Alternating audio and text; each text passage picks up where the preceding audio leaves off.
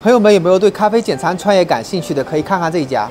这个是我们的一个私董会员呢开的一个咖啡厅，在酒店的楼下。目前呢是保本微利的，做的主要是酒店的早餐生意，还有附近的一个生意。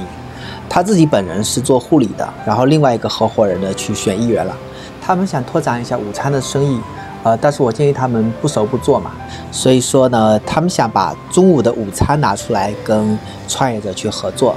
呃，你不需要去承担这个房租的成本，那如果说赚钱的话，就可以分嘛。对于很多没有太多资金的创业者来说，这是一个很好的机会。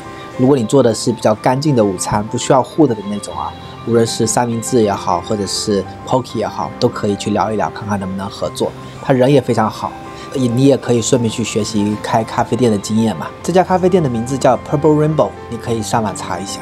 未来的七月份呢，我会通过考察各地会员的餐厅经营情况，帮他们去拍照、拍视频，然后同时跟大家去播报各个州的这个市场情况。